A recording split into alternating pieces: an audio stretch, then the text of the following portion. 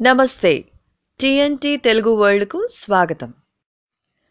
మా latest videos notification కోసం subscribe చేసుకొని బెల్ ఐకాన్ని యాక్టివేట్ చేసుకోండి.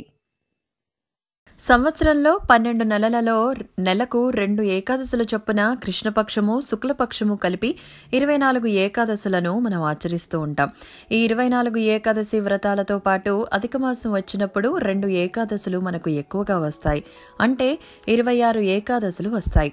ఇలా అధిక మాసంలో వచ్చే ఏకాదశులకు కూడా వేరు పేర్లు ఉన్నాయి. శుక్లపక్షంలో వచ్చే ఏకాదశికి పద్మిని ఏకాదశి అని పేరు. అలాగే కృష్ణపక్షంలో వచ్చే ఏకాదశికి కమల ఏకాదశి అని పేరు. ఈ వీడియోలో పద్మిని ఏకాదశి గురించి తెలుసుకుందాం. ఈ ఏకాదశి రోజున ఉదయమే లేచి స్నానాది కార్యక్రమాలు పూర్తి చేసుకొని నిత్య పూజను చేసుకొని శ్రీ మహావిష్ణువుని విష్ణు సహస్రనామాలతో విష్ణు అష్టోత్తరములను చదువుతూ తులసి దళాలతో పూజించాలి. శ్రీ మహావిష్ణువు అలంకార ప్రియుడు కనుక మంచి సుగంధ పరిమళమైన పుష్పాలతో అలంకరించాలి. ప్రతి ఏకాదశికి ఉపవాసం ఉండే విధంగా ఈ పద్మిని ఏకాదశి రోజున కూడా అదే నియమాలను విధిని పాటించాలి. మర్నాడు ద్వాదశి నాడు నిత్య పూజాది కార్యక్రమాలు పూర్తి చేసుకుని బ్రాహ్మణుడికి భోజనము పెట్టి ఉపవాసాన్ని విరమించాలి. పద్మిని ఏకాదశి వ్రతకథ. పూర్వం భక్తి ప్రపత్తులు కలిగిన కార్తవీర్య అనే రాజు ఉండేవాడు. అతను అనేక మంది భార్యలను వివాహం చేసుకున్నాడు. కార్తవీర్య అనే రాజు కర్తవ్య పాలనలో అంకిత భావంతో ప్రజలను ఎంతో జాగ్రత్తగా చూసుకునేవాడు. అతని జీవితంలో అన్ని సానుకూల విషయాలు ఉన్నప్పటికీ అతని భార్యల్లో ఏ ఒక్కరూ అతనికి కుమారుణ్ణి ఇవ్వలేకపోయారు. అతని సింహాసనానికి వారసుడు కావాలని ఎన్నో పూజలు దానాలు మరియు కఠినమైన కార్యకలాపాలను కూడా చేశాడు. కానీ ఏ ఉపయోగం కలగలేదు. ఎంతోమంది జ్యోతిష్యులను ఋషులను సంప్రదించాడు. కానీ ఏ ఫలితం లభించలేదు. ఒకసారి కార్తవీర్య సభను ఏర్పాటు చేసి అతని మంత్రులకి అధికారులకి రాజ్యబాధ్యతను అప్పగించి తపస్సు చేసుకోవడానికి అడవులకు వెళ్ళాలని నిర్ణయించుకున్నాడని ప్రకటించాడు. అతను అడవికి వెళ్ళినప్పుడు అతని భార్యలలో ఒకరైన పద్మిని అనే ఆవిడ అతనితో అడవులకు వెళ్ళినది. అడవిలో కార్తవీర్య అనేక వేల సంవత్సరాల పాటు కఠినమైన తపస్సులో నిమగ్నమయ్యాడు.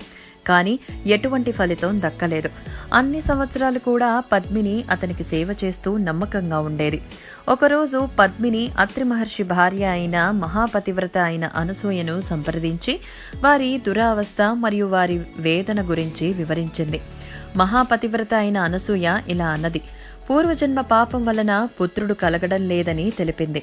దానికి పరిహారంగా విష్ణువుని అధిక మాసంలో శుక్లపక్ష ఏకాదశి రోజున పద్మిని ఏకాదశి వ్రతాన్ని ఆచరించటం వల్ల ఆ శ్రీ మహావిష్ణువు వారి పాపాలన్నిటినీ తొలగించి మరియు పుత్రుణ్ణి ప్రసాదిస్తాడని చెప్పినది.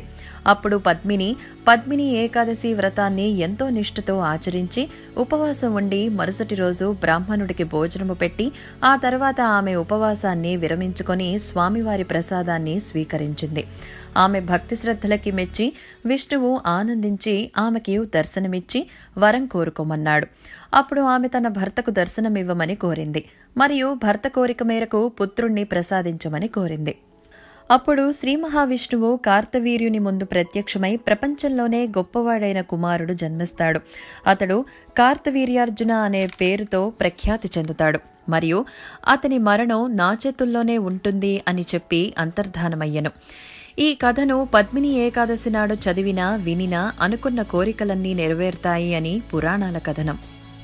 ఇలాంటి వీడియోస్ కోసం మా ఛానల్ని సబ్స్క్రైబ్ చేసుకోండి.